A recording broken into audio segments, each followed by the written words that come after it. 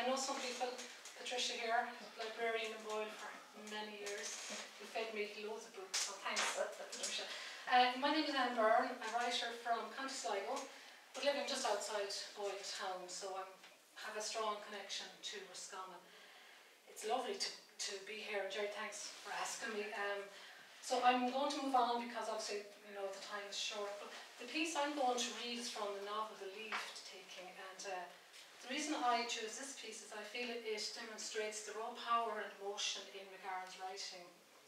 In the piece, the narrator, who was a young boy, not allowed to attend his mother's funeral, um, imagines the proceedings. Alone in the laurels, holding a clock in his hands, uh, watching the time pass and frantically trying to turn things back. Um, there's also in the piece a strong sense of regret. The narrator lamenting the time he could have spent with his mother, the full hour he wasted when he was brought to say goodbye, and not being able to uh, stay a single moment longer for fear he'd be lost and he wouldn't want to actually leave. So the imagery of the young boy all alone, desperately trying to hold back the time to keep his mother, as he describes, above the clay, I find is immensely real and vividly heartbreaking. Um, and I, I think for me this is what McGahern does best, his ability to evoke powerful emotion through the use of seemingly simplistic imagery. And for me, this is uh, one of the things that I absolutely love about his writing. Um, and I suppose also notable in his writing and evident in the piece that I'm going to read also is the simple beauty of his language. Um, and at the same time also he doesn't waste a single word. Somebody actually uh, described his writing to me once as you wouldn't squeeze a postage stamp between his words, you know. So look at, I'm going to get into it, um, I hope you enjoy, but I will warn you, the piece is quite emotional and sad, so uh, look at, this is uh, the leave taking. All night they'd leave her before the high altar, under the red sanctuary lamp. Candles and tall black candlesticks about the coffin. Leave her there all night in the brown coffin. The church empty, the doors locked and the coffin in that horror of stillness beneath the lamp. But at least she was not in the earth yet. Somehow, it might be all turned back yet. A pale mist of morning gave way to a blazing noon. Bright gashes of wheels on the tar of the main road, dust puffing on. As I watched people gather at the bridge to pack into three cars they were going to the funeral. I watched the hands of the clock jerk to two, an hour before three, as long as the hour I had lost on the cinders, trying to keep pictures of her in the days of her life, as the minutes remaining to her above clay bet away. At ten to three I was frantic. I looked that no one was looking, and took the blue clock from the sideboard, and weeping, stole with it out to the avenue to move in the shade of the evergreens. The flat and fragrant elder blossom at the gap that she'd never watched turned to clusters of small black grapes again. And close to the great oak I hid in the deeps of Lenihan's laurels to hold the cold glass of the clock to my face as it bet out the last minutes to three. I gave a low cry but could not stop the steel blue hands. A wren flitted from branch to bare branch under the leaves, and the church was filling. Bicycles stacked against the wall, the old bell on the grass. They'd genuflect on the flagstones. They'd see the candles lit about the coffin. The hand gave a last jerk to three. I could stop nothing now. The altar boys in scarlet and white come with the vessels and cross, and sit on the steps after the priests have sat on the chairs by the side of the rail. My father and uncles move to the table outside the gate of the altar, and the men file up to leave silver on the green of the table. My father and uncles counting the silver into blue bags, clink of silver in the coughing silence of the church.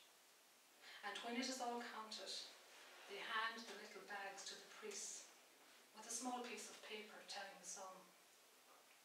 Canon Glynn goes with a slip of paper to the centre of the altar and reads out the sum and praises the departed for as long as the sum's large. The clock in my hands stuttered out the time as it passed in the shade of the laurel.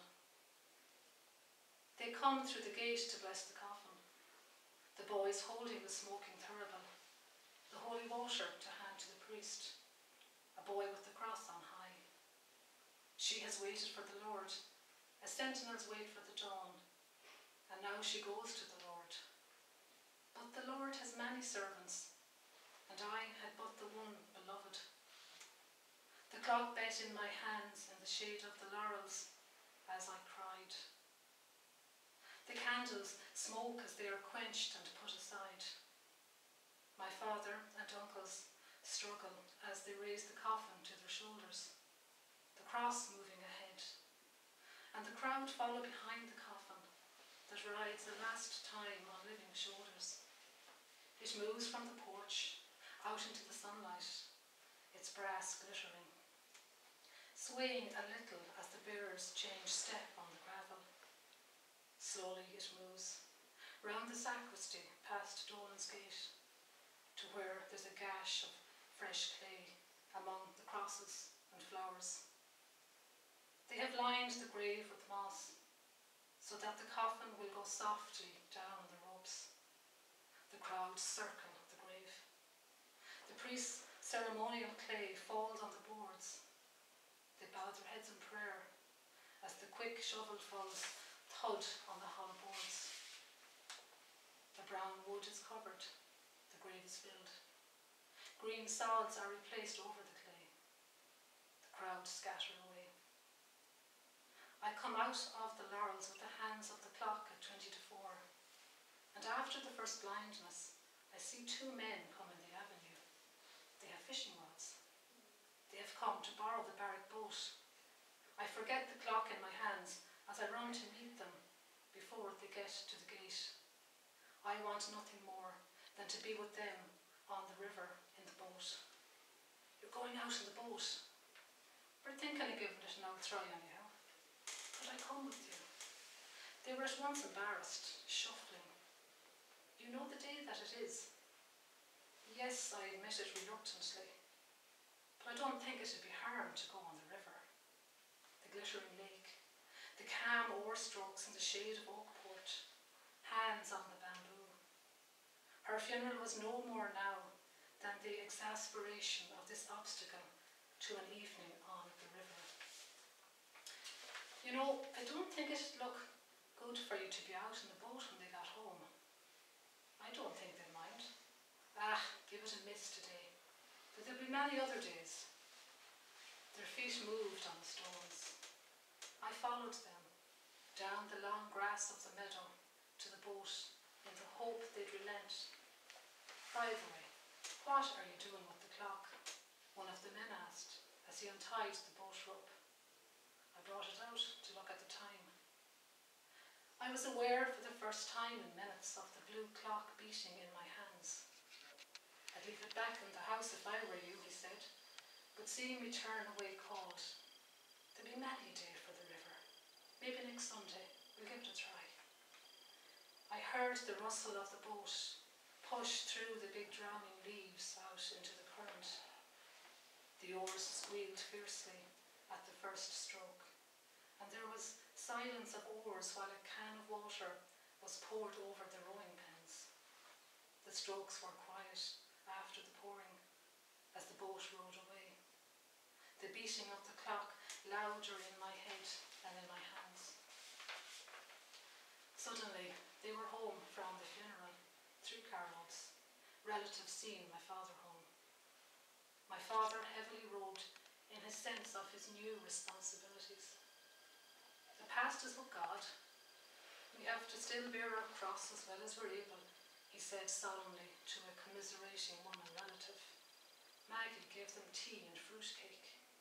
The worst was when they looked at us with moon eyes over the teacups and said, The poor children, causing confusion of wanting at once to strike at them and to break down. I was in awe of them too. They had seen her laid out. They had followed the coffin. They had watched the grave fill, while I had followed it only on the beating clock. The child of her cancer slept through it all by the window, and when one of the women said, Isn't it good he can sleep so prettily without ever knowing, I could stand it no longer and left to go down to the river. A terrible new life was beginning, a life without her, this evening and tomorrow and the next day and next day forever.